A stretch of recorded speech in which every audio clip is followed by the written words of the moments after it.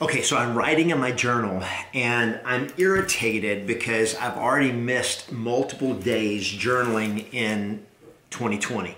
And it's like, Ugh. and back in 2011, when I started this whole process, I was like, I'm not, I'm gonna journal every single day. And I've journaled a lot of days but I still miss days and I've still got through got through periods where I got distracted and I broke the habit and I didn't journal. I've gone on vacations and didn't journal every day. And then I just realized, I gotta start over and it just irritates the daylights out of me. And yet I realize, I just look back, look at this.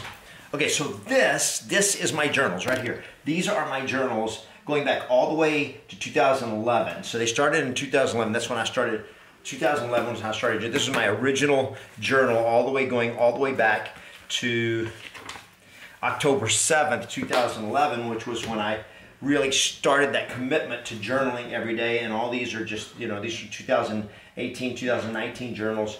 And I've done so much journaling, but I still, I still miss, I still miss days. Here's, here's what I realized. I realized, I realized that this is really an, a, a microcosm of what success is about. And that is that you starting and stopping. You're going to start and you're going to stop stuff. You're going to mess up. You're going to have uh, mistakes. You're going to fail. But you got to start start again. You're going to start something, you're going to stop, then start again.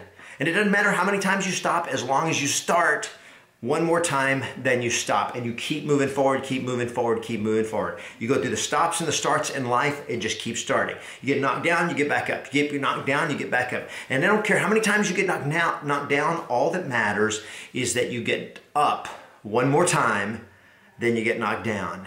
And when you do that, you're unstoppable. You're unbeatable. I'll go through the starts and stops. I'm irritated at myself for the days that I miss, but all it does is it renews my resolve to be like, I will not fail. Keep going through the starts and stops, my friend. That is how you win.